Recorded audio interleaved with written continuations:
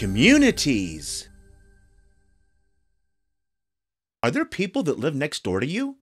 Are the homes spread out and far away from each other?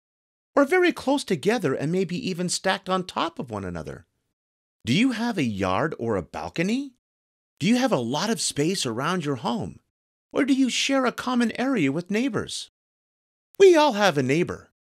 Some of those neighbors may live far away or very close. Regardless of the distance between us, all people live in a community. A community is a name for a place where different groups of people live. The members of a small or large community, like a town, state, or country, are called citizens. Citizens that live in the same community usually follow the same rules. These rules may be different depending on where you live. There may be rules in your community, like you cannot have loud music late at night, to respect people who are trying to sleep. Another rule may be that you cannot have cars parked on the street during winter time, so the snow plow can plow the roads.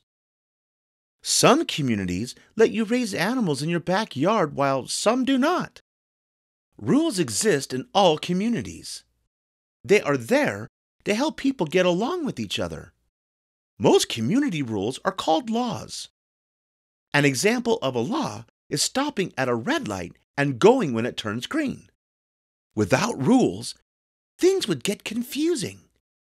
Can you imagine what would happen if you did not stop at a red light? Or if you didn't go when the light turned green? It could result in accidents and people getting hurt. Rules or laws help us protect and respect each other. It is important to follow them. When you do, you are being a good citizen or member of your community. But being a good citizen isn't just about following the laws. Helping others may not be a law, but it is what a good citizen does.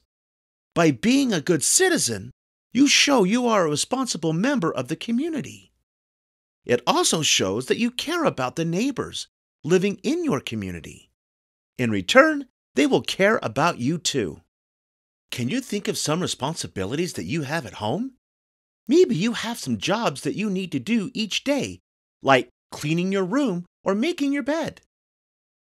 Each person in your home may have different responsibilities, like going to work, cleaning, or making dinner. But everyone does something to contribute to your family unit. You do this so that the house gets clean, people get fed, and things are paid for. It's the same in your community. Each family unit takes responsibility for your community. Can you think of some things that you might do outside of your home for your community? Do you pick up garbage if you see it on the street or in a lobby? Do you make sure your garbage gets into the proper receptacle and is not littered? Are you careful that you aren't too loud or run around and bang on the floor if you have neighbors living below you or next to you? If you see a lost animal, do you help locate its owner? Or maybe you take a meal to someone in need? Or help with work around the yard or a farm? Those are all ways that help us be good citizens, and not just where we live either, but in communities we might visit as well. We may choose to do activities together as a community. Parades, a community fundraiser, and a neighborhood barbecue or picnic are a few examples of various community activities. In most parts of the world, there are three types of communities. They are called urban, suburban, and rural. Each of these communities is different, but each of them has citizens with neighbors, laws, and responsibilities. Cities are urban communities. A large city has many people in it. It might have tall buildings called skyscrapers or high rises.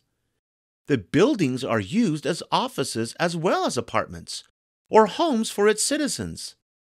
In the city, people live close together. There aren't many backyards because there isn't the room for them. In addition to high rise apartment buildings, there may also be townhouses. A townhouse is a tall, narrow home that is connected on one or both sides to other townhomes. Taxi cabs and buses are also found in the city. Many people use those for transportation instead of having their own car. In the city, there may be a large park where people can go to walk, play games, or enjoy a picnic. Because there aren't many backyards in urban communities, many cities have swimming pools or recreation centers where people can go for exercise and fun. In the city, many things are close by. You probably won't have to go very far to get to a store, a restaurant, or a movie theater. You might even be able to walk to them. Because there are a lot of people living in the city, there is often a lot of traffic and noise. New York City is a famous big city in the United States where many people live and work. A suburban community or suburban means it is a medium sized community near a large city. In a suburban community or neighborhood, there are a lot of different sized homes. Many people drive into this city or take the bus to get to work.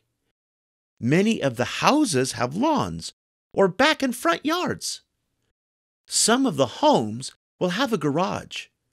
Often, there are fewer people in a suburban community than a large city or urban community. Suburban communities have many small parks, fields, and shopping malls.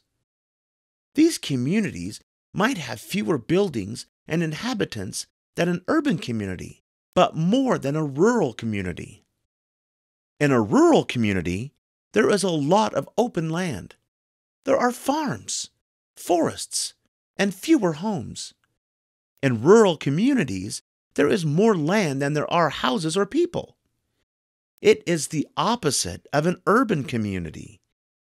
There are far more buildings and people than there is open land. In a rural community, the houses are far apart, sometimes even miles apart. Most farms are in rural areas. There are community parks and fields. Living in a rural community, life may be a lot slower paced and quieter than in a city. Unlike the city, in a rural community, people sometimes must drive far to get to places. Now that you know the difference between an urban, suburban, and rural community, do you know what type of community you live in? Citizens living in all three of these communities come from different cultures and backgrounds.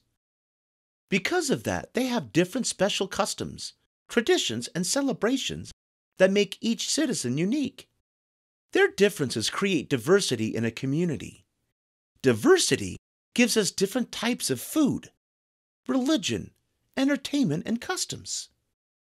Respecting the uniqueness of each person in a community also makes us good citizens and helps us live in harmony with each other.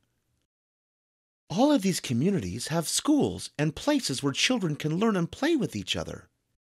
In an urban community, there may be many schools, with a lot of children that attend each school. Children may be able to walk a short distance or take a subway ride to school. In a suburban community, some of the children may be able to walk to school, while other children who live a few miles from the school may get a ride or take a bus. In a rural community, students may need to take a long bus ride to get to and from school each day. There are far fewer schools in a rural community because there are fewer people in these communities. In fact, there may only be one or two schools in a rural community that all the kids attend together. Even though there are several differences in each type of community, the adults and children living in each place love to work, play, laugh, and have fun with their families and neighbors. Remember each type of community. Urban, suburban, and rural may be a little different, but they all have citizens, neighbors, laws, and responsibilities. Everyone in a community need to try to get along with each other and respect each other's differences for the community to function well. And when they do, a community is a great thing to be a part of. Thanks for following Clarendon Learning. Be sure to subscribe. For more free resources, check us out at clarendonlearning.org.